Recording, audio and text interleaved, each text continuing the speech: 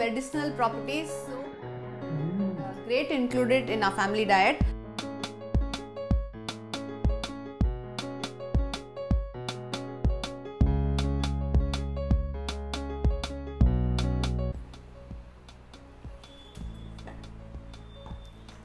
Hi all, welcome to MasterChef Mom. Hope you're all doing good. It's been a long time, and today I've uh, come to you with a very delicious recipe. I'm making pavakkai pitlai.